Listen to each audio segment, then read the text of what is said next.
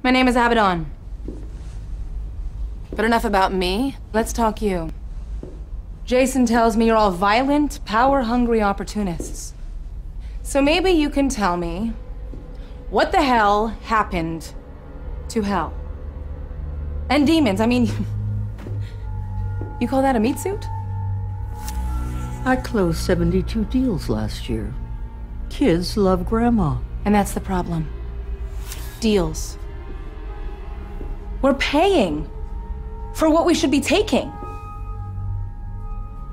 Who put Crowley in charge? What's the matter? Hellhound got your tongue? You took orders from him! He's the king! He's a salesman. A king fights. A king conquers. A king does more than sit around reading contracts. But the king's dead. Long live the queen. I can train you.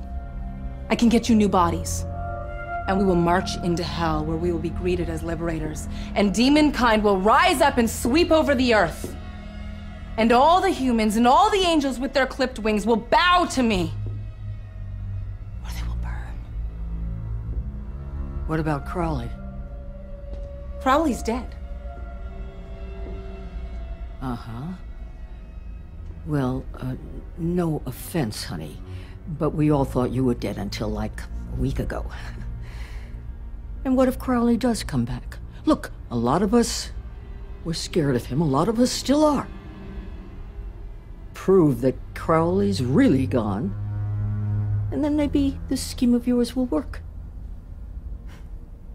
Or not. Honestly, I always thought you knights were overrated. You go to hell. And you tell them?